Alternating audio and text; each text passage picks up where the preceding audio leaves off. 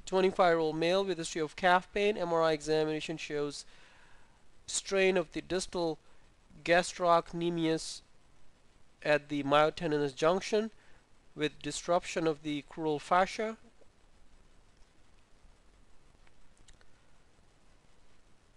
Also noted strain of the soleus muscle. Fascial tear is seen between the soleus and the gastrocnemius muscles.